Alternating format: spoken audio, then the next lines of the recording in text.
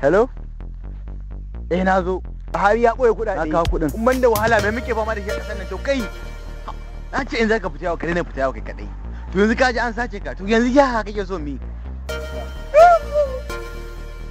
Ina son yarinya ce za je so ta ƙarya ne wallahi a garin faɗin garin ungon bawa babu wanne yarinya da nake so. dan daba bayyana sigatan baba ma daban ne daban ne. Faɗin garin ungon bawa babu wanne zo yarinya da nake so.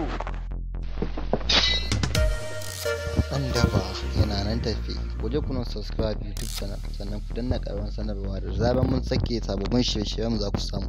Dan daba dan daba kai ka san wannan rayuwan banda ko shi ka da su kashe ka kawai. In ma kashe ka za su kashe ka. Ah to kai yanzu ka san inda dai muke rayuwar nan. A abokina. Ya ke ciki? Lafiya lau wallahi, kalau kalau. ya jin daɗi. Lau, lafiya na ka kawo ka tsaya a nan kuma ba da kai kana ta faman jiya. ka bari ko abokina. Ina wannan bako